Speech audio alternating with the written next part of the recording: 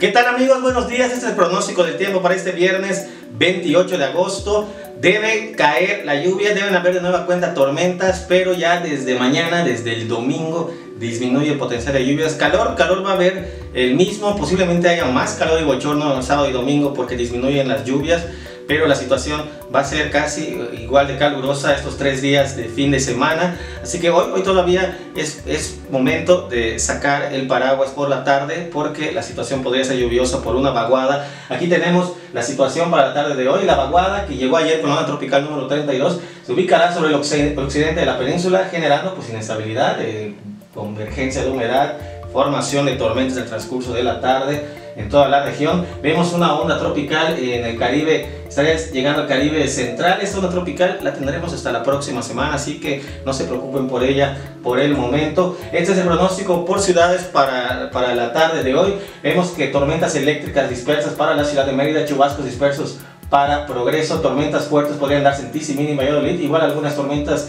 dispersas para Ticul. Eh, tenemos para Campeche, para Ciudad de Campeche, tormentas dispersas al igual de Ciudad de Carmen. Y en Quintana Roo, tormentas dispersas para Cancún, Playa del Carmen, Tulum. Y incluso en Chetumal también algunos chubascos podrían presentarse en el transcurso de la tarde. Es lo que les comentaba, altas temperaturas, clásico en, el, en el, verano. 36 de máxima para la, para la tarde de hoy en la ciudad de Mérida con sensaciones térmicas fáciles hasta de 45, bastante bochorno. Progreso 35, Tizimín 34, Valladolid 36, Ticul 35 de máxima, en Ciudad de Campeche 37 de máxima, todavía un poquito más alta, 34 en Ciudad del Carmen, Cancún alcanzando hasta los 35 de máxima, Playa del Carmen 34, Tulum 35 y en Chetumal hasta 34 de máxima. ¿Qué esperamos para esta noche?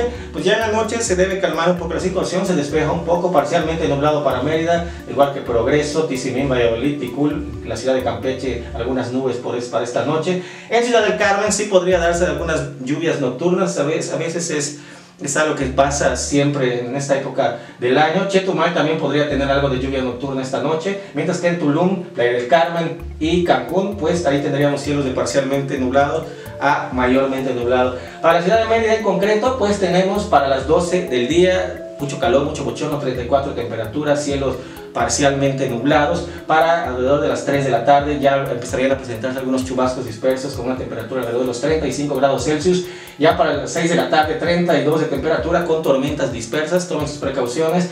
Ya para la noche, eh, parcialmente nublado, mayormente nublado, entre 9 de la noche y medianoche, temperaturas de 27 y 28 grados Celsius, incluso bastante bochornosa esta noche de viernes. Se espera una temperatura máxima de 36 grados Celsius y mañana temprano estaríamos amaneciendo los 24 grados Celsius. Este es mi reporte, les deseo un excelente día.